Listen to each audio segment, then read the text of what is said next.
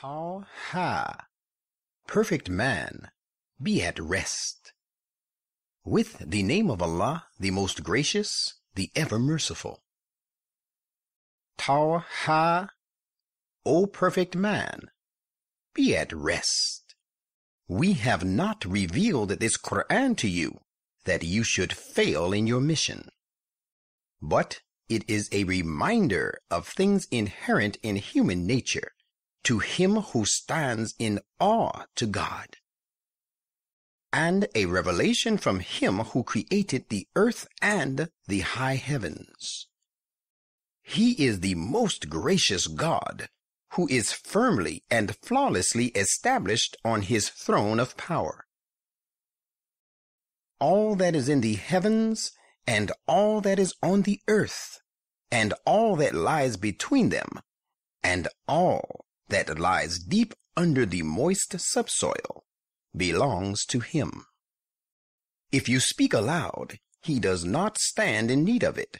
He knows the secret thought, as well as that which is yet deeper hidden. He is Allah. There is no other, cannot be, and will never be one worthy of worship but He. All of the most beautiful attributes belong to Him. You must have surely received the narrative about Moses. When he saw a fire, he said to his companions, Stay here, for I perceive a fire creating feelings of love and affection. I hope I may bring you a firebrand from there. Rather, I feel that I would find some guidance at the fire. And when he came close to this fire, he was hailed, O Moses! Verily, I alone am your Lord. So take off your shoes and stay and make your heart free from every care, for you are in the sacred valley of Tuwa. And I have chosen you Therefore listen to what is revealed to you. I and I alone am Allah. There cannot be, is no other, and will never be one worthy of worship but I. Therefore worship me alone, and observe prayer, so that you may keep me in mind. Surely the hour of resurrection is bound to come. I am about to unveil it so that every soul may be rewarded in accordance with its endeavor. So do not allow the person who does not believe in it, but pursues his own low desires, turn you away from believing it, lest you perish. Moses, what is that you have in your right hand? Moses replied, This is my staff. I lean on it and bear down leaves for my sheep with it, and it serves also my many other needs. The Lord said, Moses, cast it down. So he cast it down, and lo, it, it was like a serpent running about. The Lord said, Get hold of it, and do not fear. We shall restore it to its former state and put your hand close under your armpit. It shall come forth shining white, without any disease, providing you with another sign. We have given you these signs, so that we may show you some of our greater signs. Go to Pharaoh. He has indeed exceeded all limits. Moses said, My Lord, if you have chosen me for this mission, enlighten my mind and make my task easy for me and remove the impediments from my tongue so that they may uh, understand my speech and grant me a helper from my family, Aaron, my brother. Raise my strength through him and associate him in my task that we may glorify you over and over and spread your name far and wide. Surely you are indeed ever watchful over us. The Lord said, Moses, you are granted what you have prayed for. And we did confer on you a favor once before, when we revealed to your mother that which was an important revelation, saying, Place him, Moses, in the chest and put it into the river. The river will cast it onto the bank, and the person who is my enemy as well as his will pick him up. And I endowed you with my love, with the result that you were brought up before my eyes and under my protection. We bestowed another favor on you when your sister walked along the bank by the floating chest and said to those who picked up the chest from the bank of the river, Shall I guide you to one, a nurse, who will take charge of him? In this way, we restored you to your mother that she might be consoled and should not grieve. And it came to pass that you killed a person, but we delivered you from anguish. Then we purified you with various trials, and you stayed for a number of years among the people of Midian. It was only then when you were properly groomed and came up to the standard set by us. And I, having made you perfect, have chosen you for myself. Go you and your brother Aaron with my messages, and do not be remiss in remembering me. Go to Pharaoh, both of you, for he has transgressed all limits. But speak to him with a gentle speech. Maybe he pays heed and fears the consequences. Both Moses and Aaron said, Our Lord, we fear lest he, Pharaoh, should hasten to do us some harm or exceed all limits in transgression against you. The Lord said, Have no fear. I am with you both. I hear prayers and I see your condition. So go to him, both of you, and say, We are the messengers of your Lord, so let the children of Israel go with us and do not torture them. We have come to you with a message from your Lord. Peace will be upon him who follows the guidance. It has been revealed to us that the punishment comes upon him who cries lies to his messages and turns away. When they had delivered the message of God, Pharaoh said, Moses, who then is the Lord of you two, in whose kingdom you want to settle down? Moses said, Our Lord is he who gives every creation its proper form and character, and then guides them along the path of evolution in order to attain perfection and to do proper functions. Pharaoh said, What will be the fate of the former generations who did not believe in these things? Moses said, The knowledge of that is with my Lord, recorded in a book. My Lord neither errs nor forgets. It is he who made the earth a bed for you and has threaded it with pathways for you. He sends down rain from the clouds.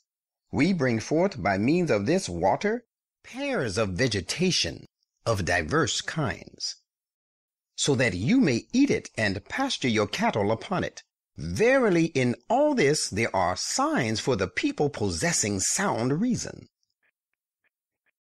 We have created you from this universe, and into this we will make you return, and from this we will raise you to life a second time. And we showed him, Pharaoh, all sorts of our signs. But even then, he went on denying them and refused to believe. He said, Moses, have you come to us to turn us out of our country on the basis of your sorcery? But we too shall certainly meet you with a matching sorcery. Make an appointment of time and place between us, which appointment neither we nor you shall fail to keep. Let the meeting be at a place fair for us both. Moses said, The day of the festival will be the day of your appointment, and let the people be assembled when the sun is risen high. Pharaoh then withdrew and concerted his plan, then came at the appointed time and place for the contest. Moses said to them, Woe to you! Forge no lies in the name of Allah, or he shall destroy you utterly by some calamity. And surely he who forges a lie in the name of Allah has ever been unsuccessful.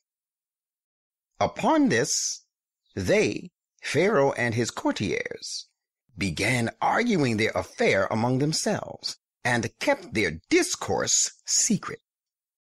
They said, Surely these two brothers, Moses and Aaron, are sorcerers who seek to drive you out of your country by dint of their sorcery and to do away with your ideal religious traditions.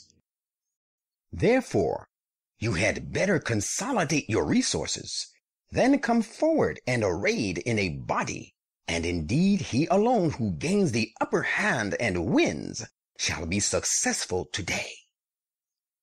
The sorcerers said, Moses, either you present first what you have, or we shall be the first to present what we have. Moses said, Nay, you present first what you have. Accordingly, they were the first to present. No sooner did they present them, lo, their cords and their staves appeared to him by their trickstery only as though they ran about. So Moses felt afraid in his mind, lest the people be misled by their glittering tricks. We said to him, Have no fear. Surely it is you who shall be the uppermost. Now cast down on the ground that staff which you have in your right hand.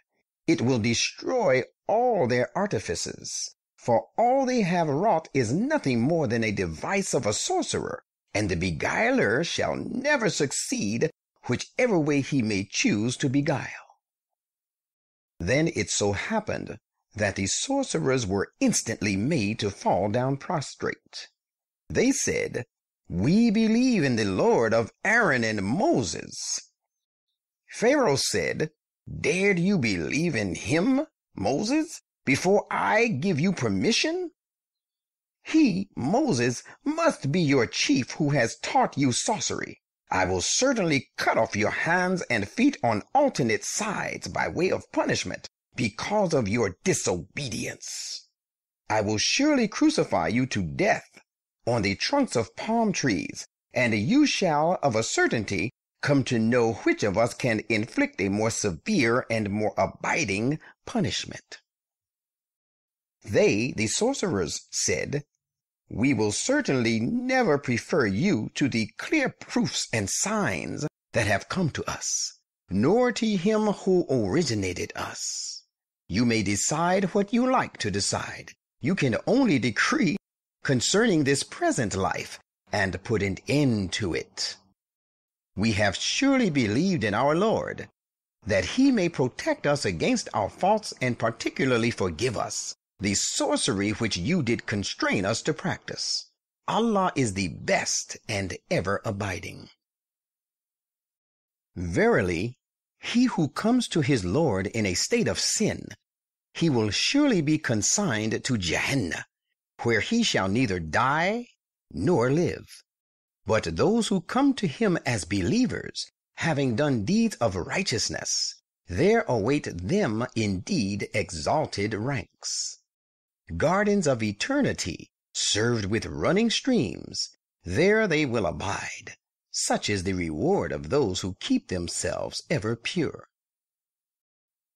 And we directed Moses by revelation Take away my servants by night, and take them along a dry path through the wide plain. You will not be afraid of being overtaken, nor will you have any cause of fear of being drowned. Now Pharaoh pursued them with his armies, but there covered them that tide of the sea which engulfed them completely. Indeed, Pharaoh caused his people to perish and did not lead them in the right way.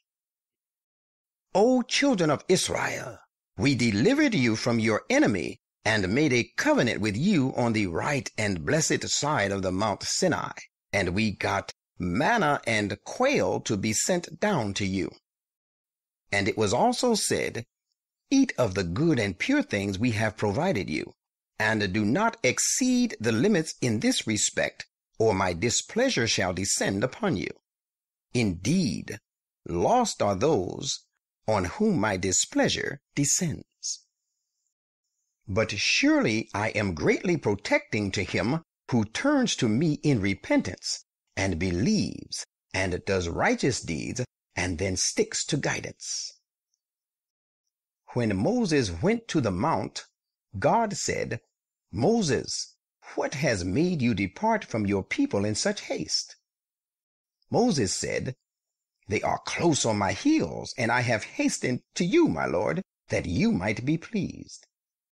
The Lord said, We have distinguished your people, the good from the bad, in your absence, and the Samiri has led them astray. So Moses returned to his people, indignant and sorrowful. Reaching there, he said, My people, did your Lord not make you a gracious promise? Did then the promised time of forty nights and days seem too long to you? Rather you desired that displeasure from your Lord should descend upon you, and that is why you failed in your promise with me? They said, We have not wilfully failed to keep our promise with you, but the thing is that we were laden with loads of the jewelry of the Egyptian people, and we threw them away into the fire. That was what the Samiri suggested. Then it came to pass that he, Samiri, produced an effigy of a calf for the people to worship, a mere body without a soul, which emitted a lowing sound.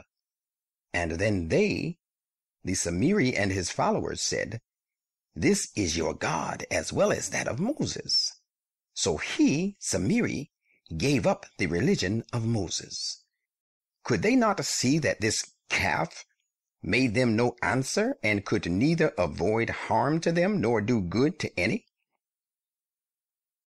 Aaron had indeed said to them before the return of Moses from the mount, My people, you have only been tried by this calf. Surely the most gracious God is your Lord. So follow me and carry out my biddings. They said, We will never give up to cleave to the worship of this calf until Moses returns to us. Moses turning to Aaron said, Aaron, when you saw them going astray, what prevented you from following me and punishing them? Dared you then disobey my biddings? Aaron said, O son of my mother, do not hold me by my beard, nor pull me by my head. If I was not strict to them, it was because I was afraid lest you should say, You have caused a disruption among the children of Israel, and did not preserve my word. Moses now called upon Samiri to account for it, and said, What were you after by acting as you did, O Samiri? He said, I perceived that which they did not perceive, my perception and insight being stronger than theirs. I had adopted only some of the traditions and the teachings of the messenger, but that too I cast away. That is what my mind made fair seeming to me. Moses said, Begone then, if it is so. It shall be your punishment to proclaim yourself an untouchable throughout your life. Not only that, but there awaits yet another threat of punishment of the hereafter for you, from which you will have no escape. Now look at the God to which you remain so ardently devoted as a worshiper. We will destroy it utterly, and then we will scatter it away into the sea. Moses then addressing his people said, Your God is only Allah. There is no other, cannot be, and will never be one worthy of worship but he. He comprehends all things in his knowledge. In this way do we relate to you some of the important news of the days gone by, and we have indeed granted you from us a sublime reminder. Those who turn away from this shall bear a heavy burden on the day of resurrection. Abiding thereunder, and grievous will the encumbrance be to them on the day of resurrection, the day when the trumpet shall be blown, and on that day we shall gather the sinners together, blue eyed, the spiritually blind ones.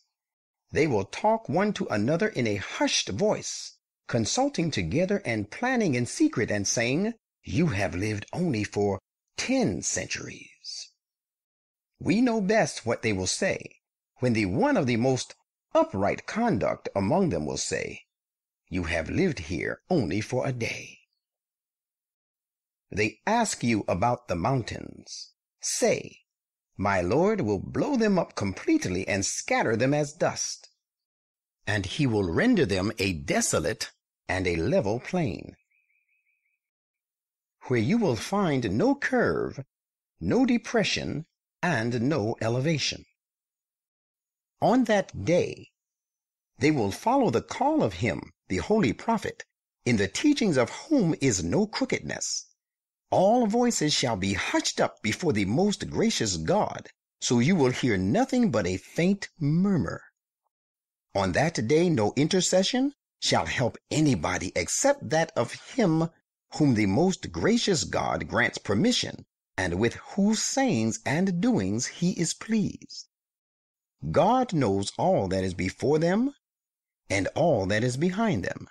They cannot encompass him with their knowledge and all persons shall humble themselves before the living, the self subsisting, and all sustaining God. And he who bears the burden of iniquity shall indeed fail in his objective. But he who does deeds of righteousness and is a believer will have no fear that he will be deprived of his reward or suffer any withholding of his dues. Just as we have revealed these verses, we have revealed the entire Quran in Arabic. We have explained in it in various ways our warnings against refusal and evil doings, so that the people may guard against evil and become righteous. Or rather, this Quran will bring forth for them a great glory and eminence. Highly exalted is therefore Allah the true king, and make no haste to recite the Quran and anticipate the early fulfillment of its prophecies before its revelation is completed to you. But say in prayer, My Lord, increase me in knowledge. We had given a stern command to Adam before this, but he forgot, and we found no resolve on his part to disobey us. And recall the time when we said to the angels, Make obeisance to Adam and his sons. They all made obeisance, but Iblis did not. He refused to submit. At this we said, Adam, surely this fellow is an enemy to you and to your wife. Take care that he does not turn you both out of the garden of earthly bliss, lest you fall into trouble. It is provided for you that here you shall not feel hunger, nor shall you go naked, and that here you shall feel no thirst, nor will you be exposed to the sun. But Satan made an evil suggestion to him. He said, Adam, shall I direct you to the tree which leads to eternal life and a kingdom which never decays? So they, Adam and his wife, ate from that tree, so that their shortcomings became unveiled to them, and they began to cover themselves with the leaves of the garden. Adam did not observe the commandment of his Lord, so he became miserable. Then it came to pass that his Lord chose him for his benedictions, and turned to him with mercy and guided him to the right path. The Lord said, Go hence, both parties, one and all, you being enemies one to another. There shall most certainly come to you guidance from me. Bear in mind the law that he who follows my guidance shall not be lost, nor shall he be unhappy. But he who turns away from my remembrance, he shall surely lead a straitened life. And what is more, we shall raise him up blind on the day of resurrection. He will say, My Lord, what for have you raised me up in a state of blindness, while I possessed good sight before? He, the Lord, will say, That is how you acted. Our signs came to you, but you disregarded them. This day you will be disregarded in the like manner. That is how we recompense him who transgresses and does not believe in the messages of his Lord. Indeed, the punishment of the hereafter is extremely terrible and even more enduring. Does it afford them no guidance that we destroyed before them many a generation, in whose dwellings they now go about? Indeed, in this there are signs for those who possess understanding. But for a word of promise already made by your Lord, and the term already fixed for them, the inevitable would surely have befallen them by now. Hence, put up patiently with them what they say, and glorify your Lord with his praise before the rising of the sun and before its setting, and glorify him during the hours of the night and at the ends of the day in prayers, that you may attain real happiness and true bliss. Do not strain your eyes towards and hanker after the glamours of this world, which some groups of these disbelievers have been provided by us, that we may distinguish the good from the bad through that. The provisions of your Lord and his gifts are far better and more lasting than all this and bid your people to pray and be constant and steadfast therein. We do not ask you to provide sustenance for us.